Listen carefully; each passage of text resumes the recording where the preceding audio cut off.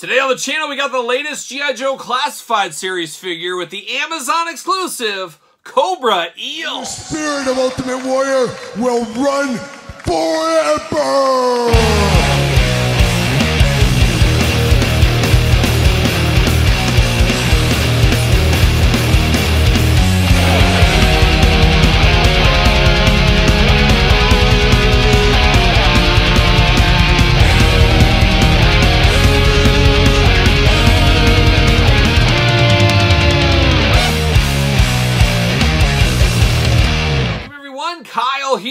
Back to the channel for another G.I. Joe Classified Series unboxing and review. And today on the channel, we got the latest and greatest. We got the Amazon exclusive Cobra Eel. But for all your non-Amazon exclusive G.I. Joe needs, make sure you're hitting up DJC Collectibles. Use discount code 8OFFDJC to save 8% off your entire order. Got to get a deal out there. And honestly, probably the most iconic Cobra army builder that goes in the water. I think that's a fair assessment there. But the Cobra Eel, an all-timer, uh, one of the earlier Cobra army builders out there. And of course, G.I. Joe, land, sea, and air. You got to have representation all over the place. Also, jungle, deserts, space, uh, sci-fi stuff. It goes on and on with the Joe brand, of course, as we do know. But the Cobra Eel, an all-timer, one that has a lot of memories back to the old school original G.I. Joe cartoon series, things like that. So very cool to get this one here. Of course, recently on the channel, we did unbox Torpedo. You got to have somebody for Torpedo to fight. Cobra Eel is going to be that guy, and it seems to be a lot of reuse between these two, and of course, we'll compare that later on in this video, but of course, we're also going to do this review like we do all the other reviews on the channel. We're going to take a look at the packaging, we're going to talk about it, we're going to unbox it, we're going to talk about it, we're going to see where it goes from there. So without further ado, let's see what's going on in the packaging here.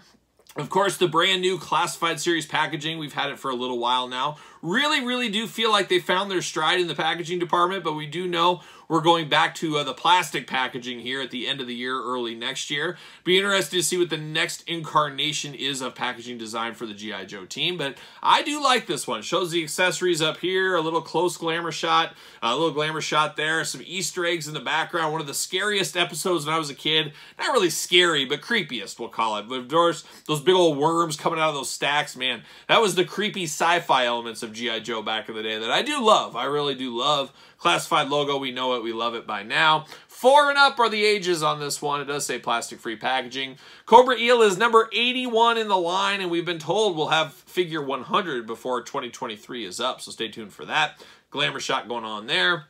QR code on this side if you want to learn more about the Cobra Eel, you can do that right there. And then on the back, we got a little bit of a glamour shots going on there, some jibber jabber at the bottom, the usual suspects. Nothing to really write home about, nothing to really talk about on this one just kind of is what it is. It is what it is, is what we'll say. But let's get them out of the package. Let's see what's going on. Let's see what all the fuss is about. And oh, there's always fuss about a new G.I. Joe figure. See you later, especially by me. You guys know I love my Joes, that's for sure. We get the Cobra Eel locker right here. Very cool thing. Great for dioramas, great for army building, all that kind of fun stuff. Off to the races. See you later. Put some spin on it. How about a little Spider-Man style? Bam! See you later. Goodbye. And then we get the little baggie of fun. The baggie of fun and the Cobra logos with all the different accessories going on there. All kinds of different stuff. There it is. Uh, I always feel like, oh, there's more. I don't want to throw anything away. Bam! See you later. Goodbye. And then we get the cardboard prison for the eel. There he is, looking good. And of course, this is an army builder, and I did buy two for now. We'll see. Maybe they'll go on clearance. Maybe there'll be a deal down the line. But I did pick up two. Usually my rule with army builders is three, so I probably need at least one more. Bam, see you later. Bam, see you later. Goodbye. And now we're down to the Cobra Eel right here. See you later again. All right, we're going to dive into that in a second here, but let's go through these accessories, what's going on with this guy here. And I guess first off, we get a knife. We get a nice black blade on the knife. Got the red handle here. I believe this might be the same that we got with Torpedo as well. But we do get a knife. Of course, you're underwater. You can't really use a gun all the time. So a knife is a perfect weapon for underwater, as we do know. So there's that. We do get the flippers here. All little flippers going on. Once again, I assume these are going to be reused from Torpedo. I guess I could just, instead of just talking about them, I might as well bring them into the conversation here. We got Torpedo here. Yes, the same exact flippers here, just all in black. Instead, this one does have some red on it. I guess I could check that uh, knife out. Yep, same exact knife going on there. So Reuse City is going to be the name between these two, and it, it does make sense. And that's how the toy business does go, as we do know. But we do get two flippers here in black. Uh, definitely double as a stand. You don't need a stand for these guys. These flippers really help them stand, as we do know. Get the same exact weapon here. We get that uh, harpoon, I guess that what that's called, a harpoon. Uh, definitely cool. I always loved these when I was a kid in my playing days. I would imagine people getting like close range, bam, get a harpoon and pull them in, almost like Scorpion from Mortal Kombat before he was a thing. Uh, but definitely love stuff like that. Uh, you got some of the rope kind of tied around there, all in black. You got the gold arrow on the end, arrow, where it is silver on the Joe side. And then you get the red down here, kind of the string. String? Sure, why not? String, rope, uh, whatever you want to call it. But definitely reuse from Torpedo once again. And we get down to the mask. Now, is the mask the same? No, the mask is different. So I'm definitely here for that. And then we do get the uh, oxygen tank on the back, and this seems to be different as well. There is some reuse, but not all the reuse with this one here. So we do get some differences. So definitely happy about that. You got, I guess this is the Cobra Eel logo on the back of this one. Uh, I guess uh, what that is. It's a white logo on the back against the red backpack there. Looking really nice. Then you got the spot down here you plug the mask into, of course. Uh, boy, that looks a little hard to plug in. Let's see. No? Am I dreaming? Nope, never mind. I take that I take that all back. I'm not sure what you plug in here. We're figuring it out on the fly. You plug these into the side there, the tank at the top. But there is spots on the bottom with some holes, so I'm not sure exactly what that is for. I don't think I threw away anything, so maybe it's just there. Maybe it's just holes for the sake of holes. Everybody loves a hole. Yes, they do. Uh, but definitely an interesting backpack, but one you need, of course, you're a scuba diver. You need to breathe underwater. Uh, definitely an important part of the puzzle here. So we do get that. And then finally the mask, the helmet head. Uh, I got the two uh, pipe hoses coming off the side. You plug those in. Uh, big Cobra Eel mask going on. You get the visor in the front looking good. A little gold color, a little black, a little gray. A Little Cobra Eel action is what you got right there. Now we dive into the Cobra Eel here. Very cool, very menacing eyes on this guy. Absolutely do like that. Uh, almost a ninja-like head on him. He's got the kind of wrapping around like Storm Shadow would have in, in some ways. But definitely cool here. You got a little bit of the face showing there. And like I said, a little bit angry eyes on this guy, no doubt about it. Got the Cobra insignia right there on the chest. So you know where his... Uh, his teammates are and where his uh, allies are. Uh, definitely a member of the Cobra team. We got some of the protective stuff on the shoulders, kind of around the uh, shoulders as well, the top shoulders, and uh, over there on the old delts as well. Got sculpted in uh, kind of, I almost said loincloth. We're not talking He-Man here, but sculpted in belt and all that fun stuff. Uh, a little red color against the black and the gray. Very iconic, very reminiscent of the old school Real American Hero, three and three-fourths Cobra Eel back in the day as well. Got a little bit of gizmos and gadgets there sculpted into the forearm on this one.